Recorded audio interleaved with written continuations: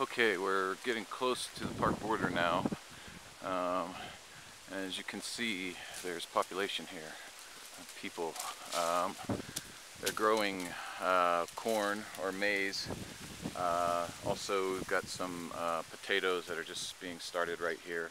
And we're right on the border of the park, uh, or not too far away, a kilometer or two away. So um, there is a local population here um, that needs aid. Uh, the soil is good for growing, um, but um, as you can see um, by what we've got over here, uh, this is a local house.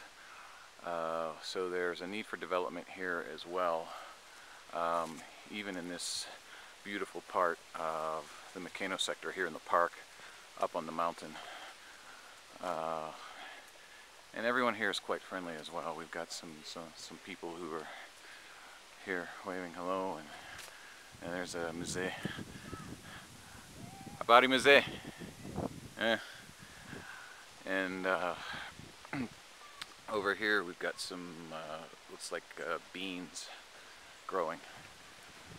Uh, it's just an incredible place um, and very diverse even up here on the mountain.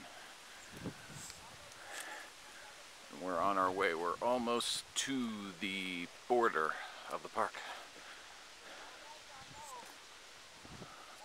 Soon.